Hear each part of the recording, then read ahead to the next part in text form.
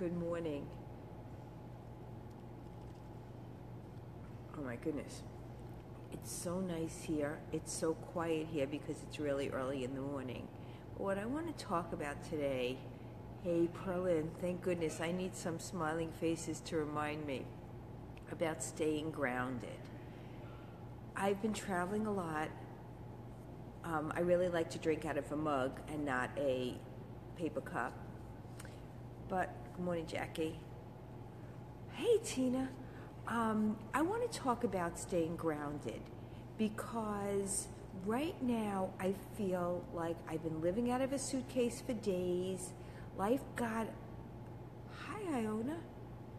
I got a little bit in my head too much. And I need to get back into my body. I need to take some deep breaths and I need to practice what I preach. I wake up in the morning to have coffee with all of you, and that's something that I real. Hey, Betty.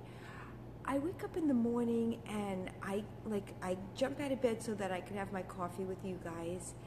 And today is one of those days where I just kind of feel out of sorts. I'm living out of a luggage. I have too much of one thing, not enough of another thing. And my mind was like spinning out of control. And I just kept saying to myself, practice what you preach. You know how to do this. You, you try to be inspirational for other people. You try to be inspirational for yourself. You try to live with intentionality. And a few days into living out of a piece of luggage and you're like unraveling, things around you and not just going as the way you, good morning, David, the way it should be. So, what I'm going to do is, as soon as I'm done with this coffee, I've stayed at this hotel like six times before, so I do feel like I'm really comfortable with the neighborhood. Right behind me is a park, and I'm just going to take my shoes off and walk barefoot a little bit on the path and really feel the earth. Hola, Teresa.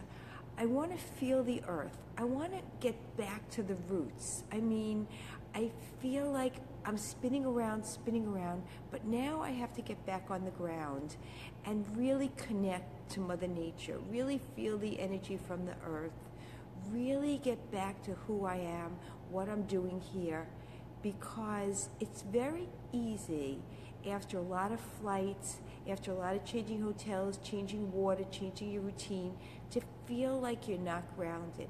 I need to really be grounded in this place where I am right now. It's so funny because both my children are travelers, and my daughter always take pict- pictures of her feet on the ground wherever she lands or wherever she is. And that's what I need to do. I need to picture myself with my feet on the grounds.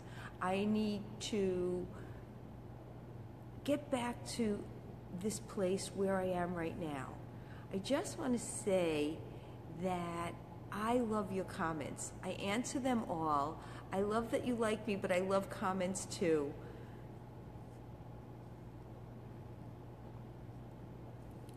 And I really just want to thank you for being here with me in the morning because it really means so much to me to have my coffee with you.